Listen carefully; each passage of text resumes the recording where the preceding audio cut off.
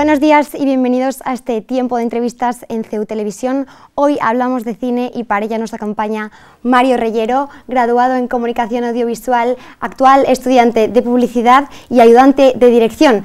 Buenos días, Mario. Buenos días, muchas gracias por, por invitarme a charlar un poquito con vosotros. Bueno, Mario ha participado en proyectos tan importantes como El Test, Noche de Chicas o Sagrada Familia, que acaba de estrenar temporada en Netflix el pasado 17 de noviembre. Mario, ¿cómo surge esta afición al cine y posteriormente a la dirección cinematográfica? ¿Cómo surge esta afición? Eh, yo creo que esta afición surge cuando me regalan mi primera cámara. Yo hago mi primera comunión, mi tío me regala una cámara de fotos que resulta que también podía grabar vídeo y, yo empecé a hacer mis, mis primeros vídeos para YouTube, vídeos eh, para mí, para mi familia, que yo estrenaba en, en comidas y, cenas familiares y me di cuenta que de alguna manera me gustaba estar involucrado en ese proceso de, de contar historias, o sea, fuese lo que fuese, fuese la historia que fuese, me gustaba contarla y compartirla con, con alguien, con, con, quien quisiese verla y escucharla y creo que de ahí empieza a surgir un poco esa, esa afición. Bueno, y antes de continuar con la entrevista, vamos a saludar a nuestras colaboradoras. Paula, Marta, ¿qué tal? Buenos días, buenos días, Mario. Hola, ¿qué tal, Mario? Encantada de tenerte aquí con nosotras. Bueno, Mario, yo...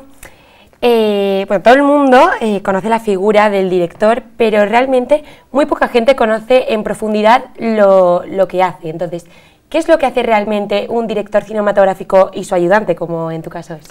Pues eh, esto es un, tema del que eh, creo que es muy importante hablar y, conocer, porque para empezar partimos de, una base eh, en la que, como, comentabas, no se conoce muy bien cuál es la diferencia entre el director y el ayudante de dirección y parece que el ayudante de dirección no existe o quizá no es tan, tan útil como, como parece.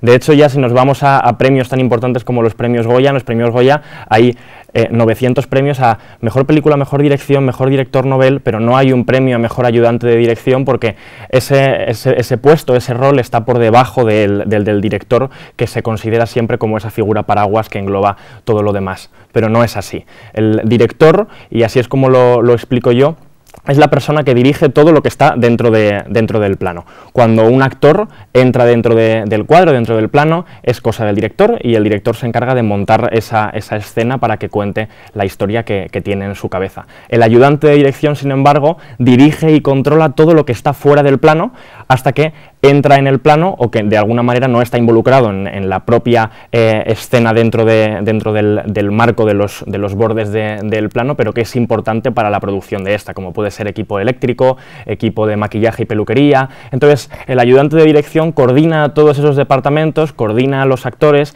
antes de que entren al, plano, a la escena, que entonces es cosa del director. Esa es un poco la diferencia y a mi parecer necesitan un reconocimiento individual ambas figuras porque, bueno, pues el ayudante de dirección sí es cierto que ayuda al director, pero son trabajos diferentes. El primer ayudante de dirección para mí es el máximo de su categoría y el director es el máximo de la suya y ninguno de los dos está por encima del otro, por mucho que el nombre del director aparezca en el cartel y sea al final la referencia de, la película. Pues a ver si se da ese reconocimiento algún día. Em, desde que entraste a la universidad lo has ido compaginando con grandes proyectos. ¿Cómo es compaginar los estudios con tu trabajo como ayudante de dirección y cine? Lo primero de todo creo que es, muy importante destacar que para poder compaginar un, trabajo tan eh, demandante como, este, en el que al final dedicas muchas horas, es muy importante que la, institución o el centro en el que estudias te apoye y, entienda lo que, lo que estás haciendo y te ayude un poco a, llevar de la mejor manera posible ambas cosas, esas oportunidades laborales que al final van a determinar y construir mi, futuro profesional y esas clases obligatorias para mi formación que, estoy cursando eh, actualmente, de hecho, como, como decía eh, Blanca, Blanca antes, creo que es importante que esa, esa, figura del profesor, de equipo de canal, de, ese centro de estudios, entienda eh, cómo cómo es esta situación y que apoye al estudiante que, se encuentra en, ella para que pueda llegar al mejor de los términos en ambas eh, disciplinas. Es complicado, es complicado compaginarlo, eh, pero es posible. Yo mm, sí que es cierto que eh, he dormido poco en, todos, durante todos estos años, he trabajado mucho, pero creo que es, es muy satisfactorio al final el ver que ambas cosas salen en, bueno, no sé si decir en el mejor de, los términos, pero, pero, bien, por lo menos salen, salen bien ambas cosas y, tanto estudios, eh, exámenes, como ese trabajo bien hecho, que es la razón por la que al final me siguen llamando para, otros proyectos. Bueno, sin duda eh, eres un referente porque es muy complicado eh, hacer compatibles las dos cosas. Y bueno, como Blanca ha mencionado anteriormente, has trabajado en proyectos muy importantes, como por ejemplo la película Campeones. Entonces, díganos, eh, ¿cómo es trabajar con, con, directores tan importantes como lo ha sido o lo es Javier Fischer?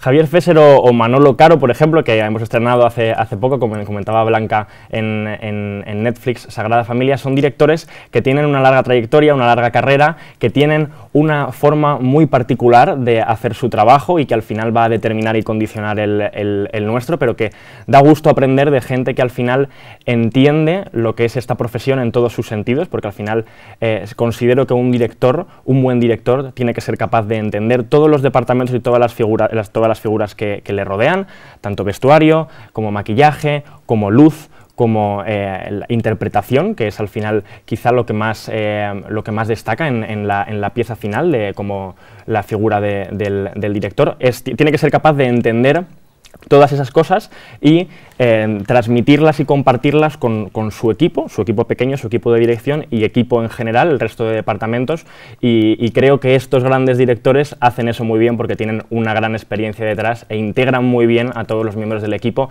en su mini equipo, en su equipo de dirección y en su equipo grande que a lo mejor seremos 100 personas en un rodaje de una de estas series o películas importantes. Entonces es, un gusto trabajar con gente tan, con tanta experiencia detrás.